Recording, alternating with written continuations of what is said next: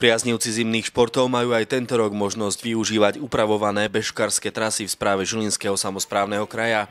Slávnostné otvorenie druhého ročníka Beskicko-Javornickej lyžiarskej bežeckej magistrály na úseku od Melocika k Ukasárňam sa konalo v sobotu 2. februára za hojnej účasti milovníkov tohto športu, ako aj predsedu Žilinského samozprávneho kraja Juraja Blanára, ktorý bežkarov odštartoval.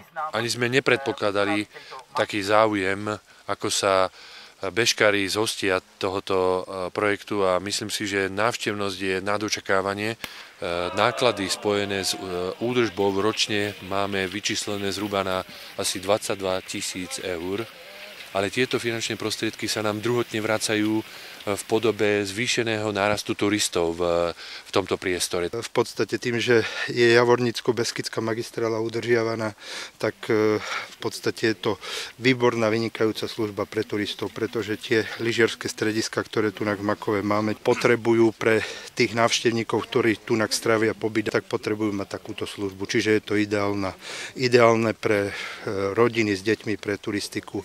Bežkári sa mohli na trase občerstviť, k dispozícii boli tiež tiež mapy a iné upomienkové predmety.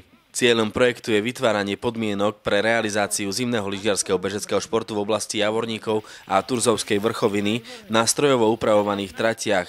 Príroda je nádherná a bežky ja milujem, takže ja som si prišla na svet. Stopa dobrá, dá sa pekne ísť. Smola je v tom, že som ešte asi tesne po chybke. Všetci kamarádi sú tu. No, nový, nový sneh je, tak je to, není to moc dobré, lebo je problém s voskovaním. Ale príroda je pekná, je to super. V ukončenej prvej etape magistrály je aktuálne k dispozícii 54 km z prejaznených trás.